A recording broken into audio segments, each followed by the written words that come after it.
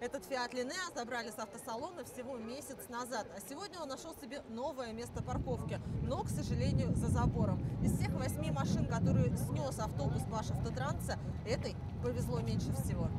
Участок автодороги возле железнодорожного вокзала Уфы – один из самых сложных в городе. Совсем недавно движение здесь стало односторонним. На обочинах постоянно припаркованы машины, есть несколько пешеходных переходов и опасный поворот. Сергей Яковлев работает водителем автобуса 14 лет, но сегодня его опыт ему не помог. Ну, спускался с горы, 40 км час ехал.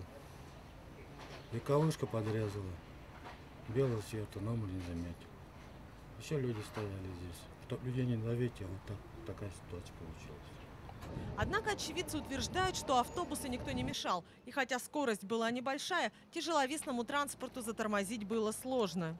Но мы вышли из машины, сделали пять шагов и услышали треск.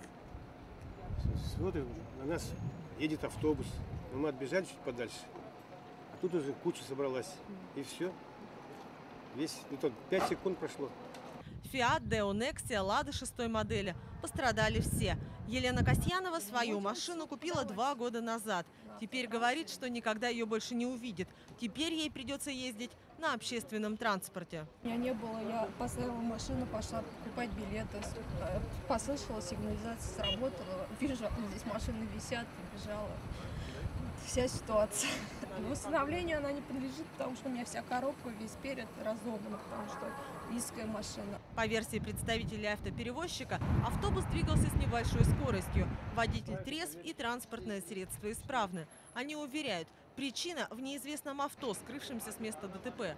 Сотрудники ГИБДД утверждают обратное. Если нет черных следов на асфальте, значит водитель и не пытался затормозить. А так как призрачного гонщика на белом вазе никто не заметил, возможно, его и не было. На сегодняшний день идут следственные действия, правоохранительные органы разберутся во всем и дадут оценку действиям или бездействию водителя нашего. Мы можем точно сказать, что скорость была 14 км в час. Водитель автобуса наверняка все-таки отвлекся или что-то сделал, и от того, что невнимательность авто, водителя автобуса привело вот таким последствиям. Слава богу, что никто не пострадал. Госавтоинспекторы призывают горожан быть внимательнее, выбирая место для стоянки автомобиля, чтобы однажды не увидеть автобус, припаркованный на крыше своей машины. Александра Старчак, Дан Хамидов, Башкирское спутниковое телевидение.